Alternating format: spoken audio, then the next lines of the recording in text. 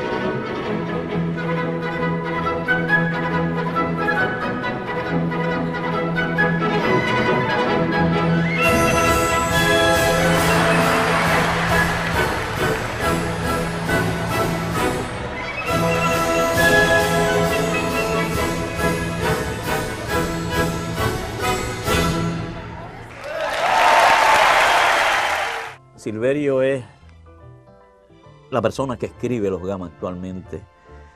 Es una persona que él, como me dice a mí, que ha sido mi padre, mi hermano y mi hijo. Yo lo siento así con él, yo me siento igual. Ese Silverio de comienzos de los años 70, que empezó en Borinca Encanta, cuando yo también empecé con los poemas en el programa al Silverio de hoy he notado que el hecho de que haya estado presente en el ambiente artístico, en el panorama artístico, y tomado en cuenta por la gente, e, eso es, eso obedece a un ansia constante de crecimiento intelectual. Él puede controlar el tiempo a su favor y y saca por el techo a todo el mundo y él se queda tranquilito, tranquilito.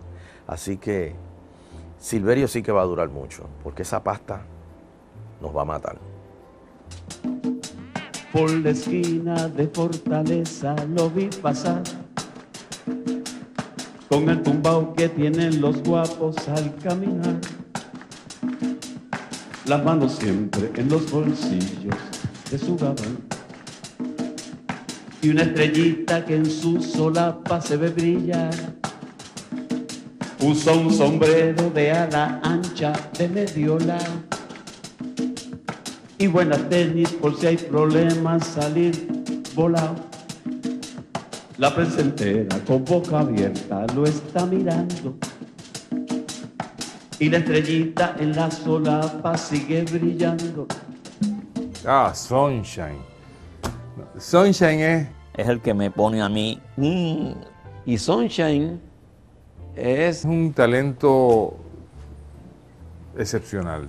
Dios mío, cada vez que me, me, relaja conmigo y yo también lo quiero muchísimo porque a pesar de que me molesto muchas veces, pero es una molestia de cariño.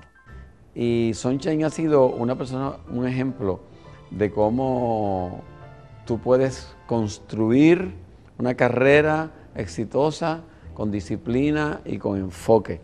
Mucha gente dice, no, es un comediante, es cómico. No, Sunshine antes que todo es un, actor, un excelente actor. Además, pues a, a su cualidad histriónica, a sus cualidades histriónicas, se une algo muy importante. Una persona generosa y un gran amigo, un excelente ser humano.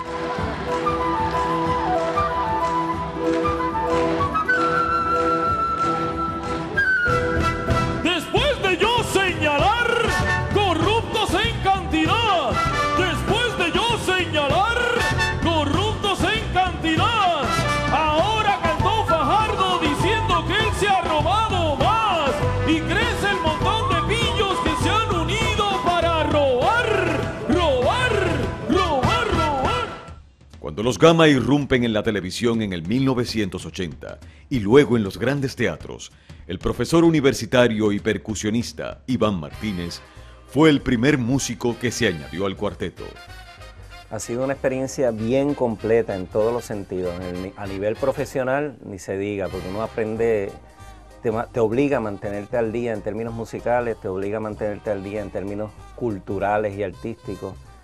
Eh, conoces y te haces parte de una gente que, que se convierte en, en una especie de familia. ¿no? Eh, yo creo que ha sido una experiencia de crecimiento en, en todos esos aspectos que te mencioné. Los arreglos y la dirección musical de los grandes espectáculos gamísticos siempre ha recaído en José Cookie Rodríguez. ser el director musical de los Gama ha significado más re- responsabilidad de la que merece un ser humano, porque es una, una tarea bastante conciliatoria, podríamos decir.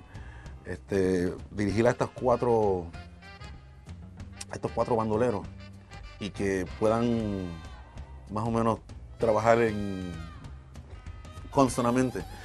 Pero ha sido refrescante porque por lo general tú esperas que la gente, cuando uno, cuando uno es un director musical de un cantante o de una agrupación, uno espera que cierto tipo de uniformidad y con los gamas tú no puedes, hay que, no se puede esperar eso, tú tienes que esperar cualquier cosa, cualquier cosa puede su- suceder. Y siendo un equipo de comedia, pues hay muchas más, hay más libertad, hay más, no, es tan limitante como cuando es algo musical en serio.